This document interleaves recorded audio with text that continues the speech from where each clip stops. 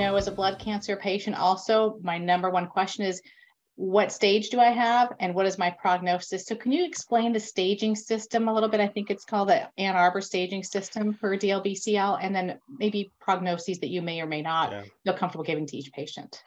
Yeah, so lymphoma is a little bit different because it's a blood cancer that involves lymph nodes. And so how we stage it is based on the location and the number of lymph nodes involved.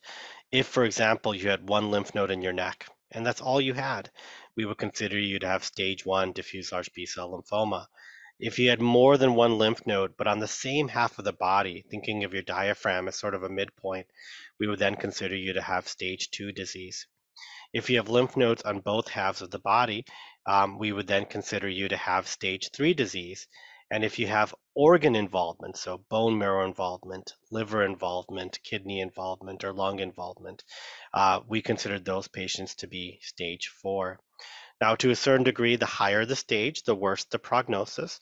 But as I stated earlier, even patients with stage four lymphoma can be cured. And that's different than other cancers, right? When we think about stage four colon or stage four breast, uh, many of those patients, we actually tell them that they're in a non curative setting. And so while the prognosis for stage three and four is a little bit worse, uh, than those patients who have stage one to two disease, I do try to focus on that we do treat with curative intent and, and we do alter our treatment regimens according to the stage of disease uh, that they present with. And so um, my activation tip for patients in this setting is to, you know, make sure they really understand uh, their scan and what stage they are and how that impacts the treatment that the doctor is offering.